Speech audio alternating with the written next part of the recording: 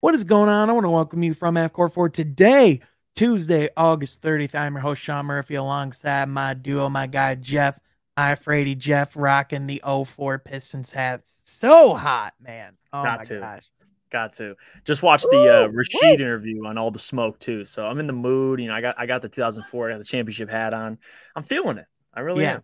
Yeah, absolutely, man. Speaking of uh speaking of uh, a season that brought hardware to the Pistons, there's a different type of hardware we're talking about today. That's the Rookie of the Year trophy, a trophy that eluded the Pistons and, and Cade Cunningham this last year, but seems like possibly could end up in Jaden Ivey's hands this upcoming season. Obviously, there was the unfortunate injury to Chet Holmgren. I'm dead inside. But anyway, um, uh, but with that injury, uh, Jaden Ivey and the Vegas book booking odds is now second on the Rookie of the Year ladder, uh, next to Paolo Banchero and also guys like Keegan Murray and Jabari Smith Jr. So with that, Jeff, I don't know if a Chet going down makes me feel any different about where Ivey would end up in the rookie of the year race. Obviously, I mean, you know, with that kind of guy going down, it just makes his odds of, of getting it that much better. I see that.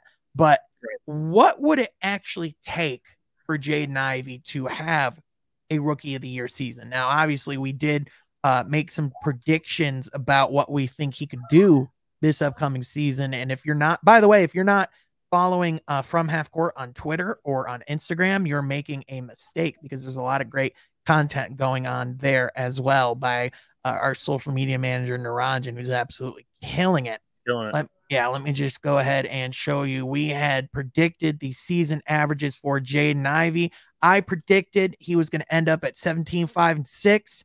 Jeff, Mhm. you predicted 16, 5, and 5. And Troy was on crack and, and said 9, 2, and 5. We we won't even get into Troy's because that's well, well, yeah, that that's for the podcast. What You- you the gotta- he'll, is he'll that? yeah, that's yeah, that's for yeah. You'll you'll hear about that in the pod. But but Jeff, those numbers all around, I, in my opinion, if he has that type of season, he's gonna be in the race for rookie of the year, right? But Right. what are going to be those things that are going to put him over the hump? What are those things that are going to make Jaden Ivey stick out as a rookie of the year candidate?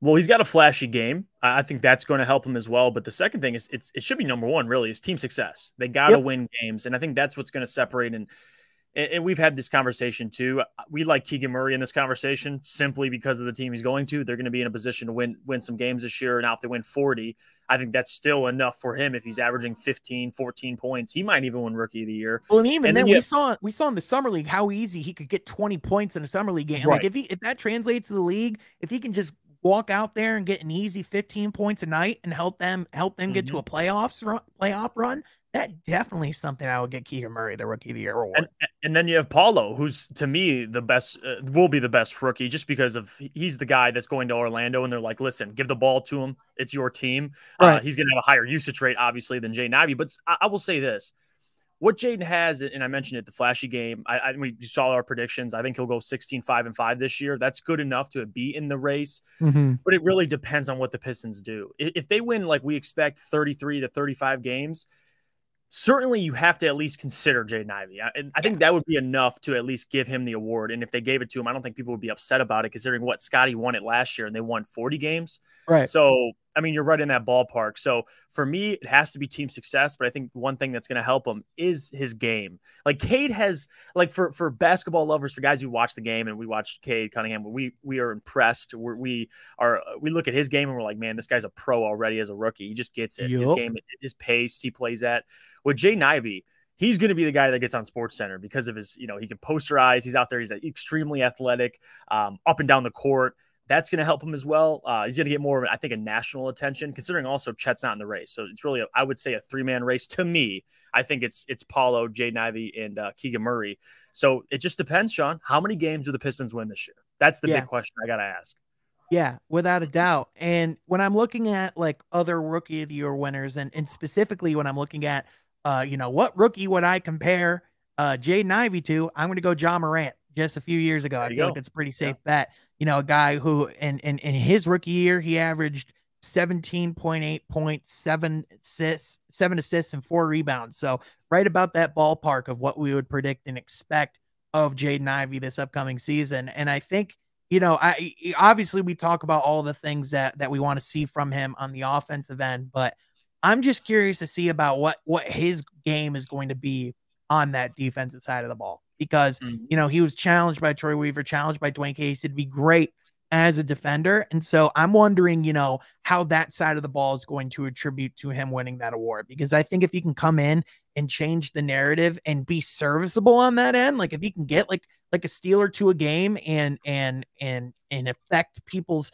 field goal percentage close to the rim mm-hmm. or on the perimeter. I think those are things that could also put him in that conversation as well, because I think we saw Evan Mobley this last year, everything he did on the defensive end. It wasn't all just stats, it was just how good of a defender he was. And in my opinion, right. I think Jaden Ivey, I mean, obviously he still has room to grow in that area of his game. I know people were pointing out things from a from a freaking Rico Hines clip, which will oh, we'll get into that tomorrow, ladies and gentlemen. but but I, I, but I know that there's still room to grow for him on that end. But in my opinion, he has all the intangibles to be a damn good defender. And if he can come out and be good year one, I think that could attribute to him winning rookie I, year. I'm well. so glad you brought that up because that's something we've been echoing on this uh, on this channel as well. Is I talk about the, the just the physical attributes he has, six ten wingspan. Like there's certainly there something there defensively that people don't talk about enough that I think he can get even better at. But also on top of that and you mentioned Ja Morant. What separates those two is that playmaking ability. And I think if Jaden can get there, I'm not saying he's going to be Ja Morant averaging seven assists, but he, like we put, I had five assists, you had six assists. If you can get to that point as well, and you could, you're a two way player, that's right. your argument right there. If, if you yeah. if you're winning games and you're a two way player who can also you know make plays for other teammates, Scottie Barnes, versatile defender, can play make. Cade, well, listen, that's another conversation. Could do both those things, but that's mm-hmm. another conversation. Uh, and then you talked about Evan Mobley, the, the ability to play both sides of the court. So um, that's really what it comes down to for Jaden Ivey, and I think he can do it. Yeah, for sure. And and I think one thing that can really help him in that campaign as well. We talk about how Cade last year, and even how a guy like Paolo is going to have to come in and shoulder a lot of the team's you know, offensive load this year, right? I mean, Cade, mm-hmm. that's just who he was. His usage rate. I mean, we went through the analytics. It's insane how much the ball was in his hands year one. And Jaden Ivey's not going to have that type of usage. Now, he's going to have a high usage rate. He's going to have the ball in his hands. He's going to be a key focal point of the offense. But in my opinion, I think one thing that could also help him in that campaign is if is if he can if he can stay relatively efficient as well from the field. If he can, you know, choose good shots from beyond the arc, if he can pick his spots and and cut to the rim and use his athleticism and be a good off ball player as well, that's going to be something that's going to escalate his game. I think looking at how he plays off of Cade Cunningham, if he maximizes that, I think he will only skyrocket up the rookie of the year odds. And I think that's just one of those things where he just has that esteemed opportunity that really no one else in this class has, which is to go play with that type of player day one. No one else, no one else in this class has that. I mean, Keegan Murray has what? Domantas Sabonis, De'Aaron Fox. I mean, De'Aaron Fox is like a good playmaker. He ain't Cade Cunningham. No, he's not. He's not a. I, I we would both agree he's not a you know pass first guard. If you're if you're saying that, so like yeah, pass fourth guard. yeah, yeah, and I think one thing that is going against Jaden Ivey, I guess in a way, and I'm, I'm curious to see how it starts beginning of the season, is he has to learn to play with Cade. That's going to be the thing he has to overcome. Like Paolo, step right in, be effective. Keegan Murray, slide in with the with the Sacramento Kings, he can be effective. You you know your role right away. Yeah, I think Jaden's going to have to figure out his role. I mean, we talk about Saddiq maybe even being the two this year, and then eventually Jaden being the, that number two option, but he could take it this year from him. So that's what you have to look for probably the first, I would say, 25 games. I'm going to be looking at Jaden Ivey and how him and Cade play well. If they play well immediately and they gel, man, he's got a case for himself. Right.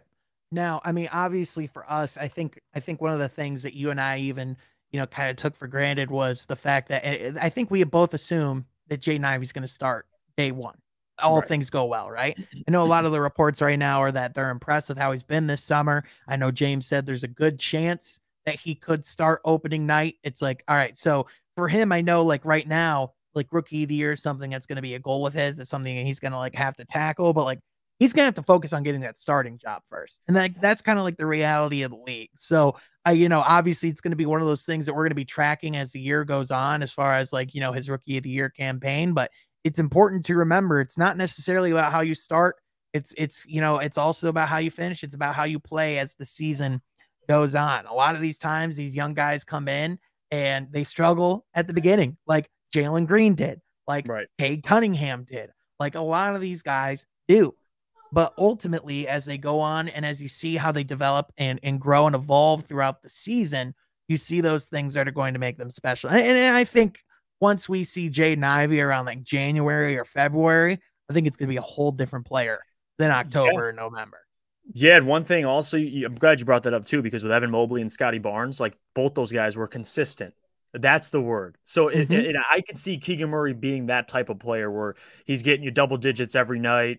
Um, and then there's Jaden Ivey, which he may, you know, float up and down. He may play really well, may play really bad. And I think right. Paolo's going to be another guy that's going to be, you know, wishy washy, but more consistent, I think, just because of the usage rate he'll have in Orlando. But that's another point to bring up because if you have Keegan Murray being old Mr. Consistent all through the season and they win 40 games, like, especially how we judge the Rookie of the Year award now it right. would make sense if Keegan won it. I mean, that, right. that's what we're in right now. It's not always right. the best rookie. It's, you know, consistency and you're winning games. Right. Now, one thing we both can agree on is that at the end of the day, we don't really give a damn if he wins the award or not. Ding, ding, ding. It doesn't yep. really matter.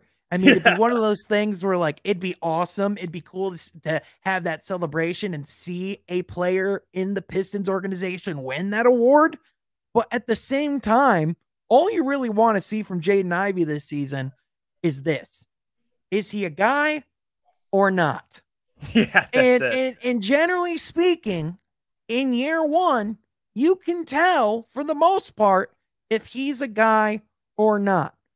And I'm mm-hmm. just going to go out on a limb from what I've seen from Summer League, from what I've seen, even though obviously it is Rico Hines stuff. I'm not saying I'm taking anything away from it, but like whenever I watch Jaden Ivey with a basketball in his hands, whenever I see his athleticism, he's a guy. He just is a guy. He'll figure it out. So, mm-hmm. overall, I think this year it's going to be about how he puts himself in that race. Let's be honest, he's definitely going to be in the Rising Stars game nonetheless. So, um, I'm just excited for all the highlights that are going to come out of this year. And I'm curious to see what you think about what Jaden Ivey needs to do in order to win that Rookie of the Year award. Let us know in the comment section down below. But also, like I said, be sure you're going to our social media page at FH Core Pod on Twitter. You can find our beautiful faces on there. Ooh, Look at gotta that. do it. Absolutely. So be sure you're following that. And also be sure you're subscribing to From Half Court so you're getting all that content for the basketball season. And with that, folks, we want to thank you so much for tuning in. For my guy, Jeff Iafrate, I'm Sean Murphy. We thank you so much, and we'll catch you guys next time from half court. Be sure you subscribe.